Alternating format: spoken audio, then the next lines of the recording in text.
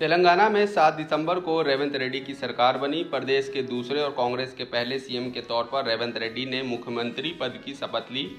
शनिवार को जीते हुए विधायकों को विधानसभा के पहले सत्र के दौरान शपथ दिलाई जाएगी। विधायकों को शपथ प्रोटेम स्पीकर एआईएमआईएम के विधायक अकबरुद्दीन ओवैसी दिलाएँगे।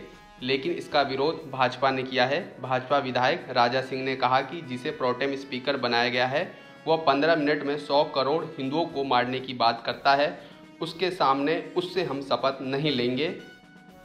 उन्होंने कहा कि तेलंगाना की जनता जान गई है कि कौन किसके साथ है। बहुत ही दुर्भाग्य की बात है। नई सरकार, नया कांग्रेस का मुख्यमंत्री रेवंत रेड्डी बनने के बाद में कांग्रेस का असली चेहरा सामने आया है। हर बार रेवंत रेड्डी ये कमेंट करते थे कि BJP, M I M, B R S एक है। तो आज तेलंगाना की जनता को पता चल गया है कि कौन किसके साथ है। कौन कौन कब कहाँ पर मिला है। और आज अकबरुद्दीन ओवैसी को, जो कि एम आई एम का विधायक है, उनको प्रोटेम स्पीकर बनाया गया। तो ऐसे व्यक्ति के सामने हम शपथ नहीं लेंगे, जो पंद्रह मिनट में सौ करोड़ हिंदुओं को मारने की बात करता है। ऐसे व्यक्ति के सामने हम शपथ नहीं लेंगे जो गौ मांस खाने के लिए हमें प्रेरित करता है, क्योंकि गाय हम सबकी माता है। केंद्रीय मंत्री जी किशन रेड्डी ने कहा कि एआईएमआईएम विधायक अकबरुद्दीन ओवैसी को तेलंगाना विधानसभा के प्रोटेम स्पीकर बनाया गया है। हम इसका विरोध करेंगे। वरिष्ठ विधायकों को छोड़कर ओवैसी को प्रोटेम स्पीकर बनाया गया है। यह नियमों और विधानसभा की परंपरा के खिलाफ है। हमारी पार्टी के विधायक नियमित स्पीकर आने के बाद ही शपथ लेंगे।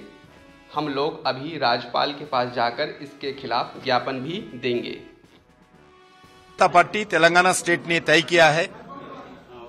जो प्रोटेंस स्पीकर का अपॉइंटमेंट, जो अकबरुद्दीन को नियुक्त किया गया, हम उसको खिलाफ कर रहे, प्रोटेस्ट भी कर रहे, क्योंकि सीनियर्स एमएलए है उनको छोड़कर कांग्रेस पार्टी ने मजलिस पार्टी का व्यक्ति को प्रोटेन स्पीकर का अपॉइंटमेंट करना, वो विधानसभा का जो नियम है, परंपरा है, ये परंपरा के खिलाफ है। ये बहुत सीनियर एमएलए को अपमान भी है। इसलिए हम चाहते हैं जो प्रोटेन स्पीकर, जो मजलिस पार्टी का इलीगली अपॉइंट हुआ है, परंपरा के खिलाफ अपॉइंट हुआ है। उनका समक्ष में हमारे एमएलए ओथ नहीं लेंगे। हम रेगुलर स्पीकर आने के बाद ओथ लेंगे। कांग्रेस पार्टी उनको प्रोटेम स्पीकर बनाया।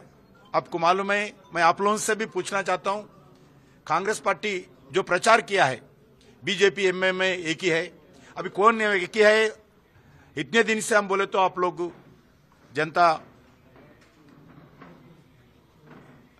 जवाब दिया है। आज जवाब भी मिल गया। यहाँ बताते चले कि तेलंगाना विधानसभा चुनाव के परिणाम 3 दिसंबर को आए थे। यहाँ पर चौसठ सीट कांग्रेस ने जीती और उनतालीस सीट बीआरएस के खाते में आई। वहीं भाजपा को आठ और एआईएमआईएम को सात सीट पर जीत मिली थी। एक सीट अन्य को मिली। सात दिसंबर को कांग्रेस के दिग्गज नेताओं की मौजूदगी में रेवंत रेड्डी ने सीएम पद की शपथ ली थी।